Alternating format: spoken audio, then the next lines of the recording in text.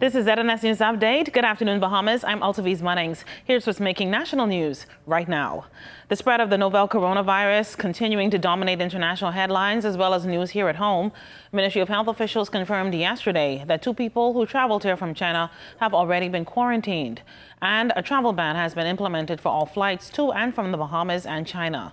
This is a developing story we are continuing to follow. Student enrollment at the University of the Bahamas is expected to increase significantly in the coming years.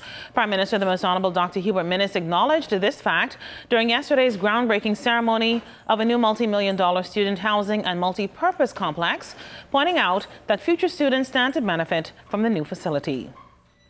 And the 2020 Junior Junkanoo Parade is now history. Schools across the country participated in the much anticipated event on Bay Street last night. We'll have a full recap in tonight's newscast. Details of those stories and more coming up in our two-hour national newscast starting at 6 p.m. We hope you tune in then. I'm Altaviz Munnings. Thanks so much for watching.